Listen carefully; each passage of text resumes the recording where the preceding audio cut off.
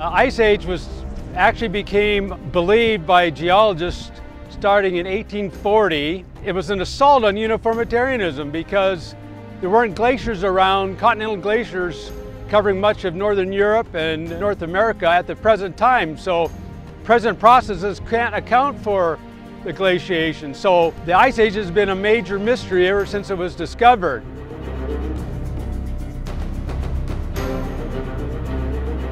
A special issue of U.S. News and World Report in August 1997 came out, the whole issue dedicated to the 18 greatest mysteries of science. Some of these mysteries were mysteries of their own making because they believe in evolution and can't explain a number of things. And one of the 18 is what causes ice ages? So they really don't know.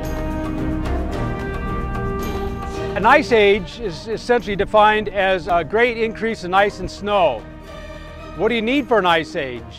First of all, you need a lot cooler summers and a lot more moisture, and it has to persist year after year. Right now, 10% of the land surface of the Earth is covered by ice, mainly the Greenland and Antarctic ice sheets. But during the Ice Age, 30% of the continental areas were covered. Practically all of Canada the northern United States, the mountains of the western United States, northern Europe, in the Andes Mountains, in the mountains of Tasmania. Well, how do we know that ice covered these areas? The way to find out is you go to currently glaciated areas today, and practically all the glaciers in the world are receding, and so when they recede, you find out what they do.